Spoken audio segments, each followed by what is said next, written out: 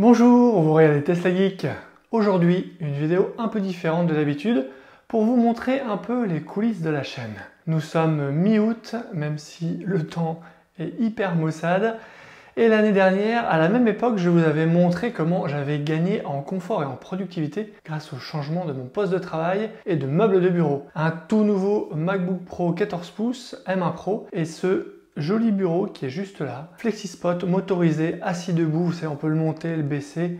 J'adore. Je vous montre rarement les coulisses, je garde ça pour moi, mais je sais que ce type de vidéo intéresse certains d'entre vous. Donc je me dis qu'une fois par an, au moment des congés, et de penser ou pas à sa rentrée, ça peut faire un format qui peut vous intéresser et qui est un peu différent. Qu'est-ce que j'ai changé cette année dans mon bureau et ma façon de travailler? Réponse juste après le jingle.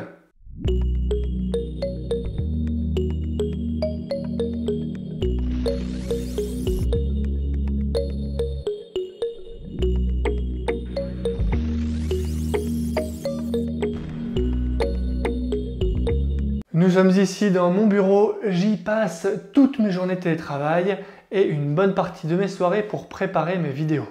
J'en ai d'ailleurs tourné certaines ici dans ces conditions qui ne sont clairement pas optimales. Euh, cette pièce résonne un peu, vous devez l'entendre avec le micro et surtout j'ai une baie vitrée avec un genre de contre-jour. Pourquoi je filme dans ce sens-là à contre-jour et pas dans l'autre sens? Eh bien tout simplement parce que là-bas, juste là de l'autre côté, c'était le bazar et que je ne voulais pas avoir ça en fond derrière moi et vous montrer ça. Mais ces derniers jours, je me suis motivé à faire du tri, du rangement, mais surtout, j'ai commandé et installé des meubles pour ranger tout mon bazar. Je vais vous montrer ça tout de suite. Juste derrière moi, c'est du Ikea, il y en a pour à peu près 400 euros. Ça me permet de ranger mon matériel, mais aussi les produits que je reçois pour tester les vidéos. Il y a d'ailleurs 2-3 trucs que je n'ai pas encore montré, donc surprise. Alors oui, ça rentre dans le coffre d'une Model 3 sans aucun souci en rabattant les sièges puisqu'en fait il y a deux caissons de 120 cm de haut juste là et là et deux de 40 cm là et là. Ce n'est pas un gros bloc unique de 2 mètres. Donc juste en rabattant les sièges, il n'y a aucun souci, ça rentre. Ça change clairement la vie de ne plus rien avoir qui traîne, que tout soit rangé, ça m'a libéré l'esprit. Le look est assez épuré et sobre, j'aime bien. J'ai dû mettre à peu près deux heures à tout monter en prenant bien mon temps et en écoutant des podcasts comme celui d'Automobile Propre dans lequel JC de la chaîne V intervenait. Salut JC, de quoi rendre le moment agréable. Au niveau de mon bureau aussi, j'ai fait euh, du changement. Plus rien ne traîne. J'ai toujours cet écran qui est juste là, que j'utilise en télétravail pour afficher euh, plusieurs Excel en même temps. J'ai cette tasse juste là, j'espère que vous la voyez, qui m'a été offerte. Merci du cadeau. J'ai installé ce bras de micro pour les lives, juste là avec mon micro. Je l'utilise depuis longtemps pour les prises de voix que je fais dans une autre pièce avec une acoustique bien meilleure. Mais pour le live, je l'ai inauguré sur l'épisode du Talk de cet été. Merci Steph. Vous avez certainement dû entendre la différence. Je passe beaucoup de temps ici et le gros défaut de cette configuration, c'est sans doute l'assise. On avait cette jolie chaise Tolix, un grand classique, avec un petit coussin. C'est joli, mais clairement pas adapté. Au travail, on a tous les deux une chaise de bureau assez classique avec plusieurs réglages. On cherchait donc à peu près le même style de produit, mais avec un design sobre, ergonomique et confortable. Pas quelque chose de gaming et surtout quelque chose qui tienne dans le temps. J'ai cherché un peu en ligne et c'est assez difficile de se faire une idée.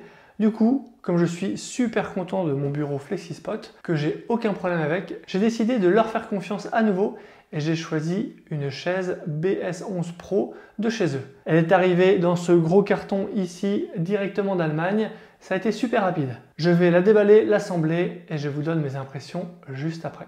Alors, qu'est-ce qu'on a? On a un premier carton, à poser là, qui est assez lourd. Là, on doit avoir peut-être euh, l'appui-tête. Ici, euh, là, on reconnaît bien la base du pied, le piétement en métal, bien costaud. Là, ben, on a l'appui-tête. Ici, bien emballé, bien protégé, on a l'assise. Et enfin, on a le dossier ici. Et après, le reste, ben, c'est vide. Donc, à mon avis, on doit avoir toutes les instructions là-dedans. On doit avoir les roulettes, peut-être des vis pour bien tout fixer. Allez, c'est parti. Et voilà, j'ai fini d'assembler la chaise. Regardez.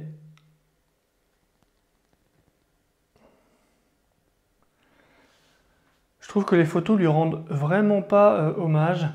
On a ici un piétement en métal, il est vraiment très costaud, très lourd, avec des roues qui elles aussi ont une armature en métal. Bon là c'est, je pense, du plastique, mais là c'est bien en métal, c'est hyper lourd, ça la leste bien. Ici on a un tissu qui est euh, respirant, bien tendu, mais respirant, donc ça, ça va être bien. Pareil, ici dans le dossier, on voit que c'est assez aéré, donc on ne devrait pas avoir trop chaud. Ici, on a des accoudoirs que l'on peut avancer, comme ça, que l'on peut aussi remonter, comme ça, avec une petite finition euh, chromée ici que j'avais pas vue. Sur l'arrière, on a une finition aussi, vous voyez, argentée, un peu finition alu. C'est du plastique, mais ça fait, euh, ça fait illusion. Voilà. Et à l'arrière, on a l'appui-tête qui est réglable. On peut le relever. Ça, c'est bien pour ma taille. Puis pour ma femme, elle pourra le baisser. On a bien sûr des réglages. On peut faire avancer ou reculer l'assise. Et ça, je trouve que c'est vraiment très bien pour les personnes grandes comme moi. Donc là, j'ai mis au maximum et c'est très bien. On peut bien sûr incliner le dossier et puis euh, monter et baisser euh, l'assise comme sur euh, n'importe quelle chaise de bureau. Et on peut bien sûr bloquer le dossier dans une position un peu plus allongée, enfin celle, celle qui nous plaît. Remarquez que l'assise est en tissu, elle n'est pas rembourrée, il n'y a pas de mousse, donc ça donne une assise assez ferme. Moi ça me convient, mais si vous préférez une assise vraiment molle et accueillante, certainement euh, voilà, plus confortable. Euh, il y a des modèles sur le site de FlexiSpot qui ont une mousse d'assise pour davantage de confort. Voilà pour la chaise, reste plus qu'à la tester. C'est parfaitement adapté au niveau de ma nuque. Bon, c'est pas fait pour faire la sieste, hein, c'est fait pour travailler. Je sais pas s'il y a des gens qui travaillent comme ça. Moi, je suis plutôt dans la team, euh, je me mets vers l'avant, enfin droit plutôt. Hop, toc, je me mets un petit peu comme ça c'est très bien. Et quand je vais vouloir travailler debout, eh ben, c'est tout simple. Je vais me mettre en position haute. Hop. Si j'avais pas mis l'appui-tête, j'aurais pu la pousser encore un peu. Mais bon, je pense que si je travaille en position haute, je vais plutôt la mettre derrière et puis me mettre tout simplement ici comme ça. Installation pas très compliquée, je suis agréablement étonné du rendu car on ne voit pas tous les détails de finition sur les photos du site. Je l'ai réglé à ma taille avec un bon maintien lombaire, une bonne position de travail qui sera ergonomique. C'est hyper important d'avoir une bonne posture quand on passe des heures assis au bureau pour éviter des problèmes de dos. Donc promesse tenue pour cette chaise de bureau. Ce sera tout pour cette vidéo. Si la référence du meuble Ikea ou de la chaise FlexiSpot vous intéresse, je vous mets les liens directs en description. J'ai pu profiter d'une promo, je pense qu'elle est encore valable pour la chaise. Si tel est le cas, je vous mets le code en description. J'espère que vous avez passé de bonnes vacances et que vous êtes prêts pour la rentrée. En tout cas, moi oui, prêt à produire encore plein de vidéos sur Tesla, la mobilité électrique et les énergies propres. Alors abonnez-vous pour ne pas rater mes prochaines vidéos. N'hésitez pas à jeter un œil sur mon site teslageek.fr pour des bons plans, la checklist de livraison et une sélection d'accessoires pour modèle 3 et modèle Y. Et je vous dis à bientôt pour une prochaine vidéo.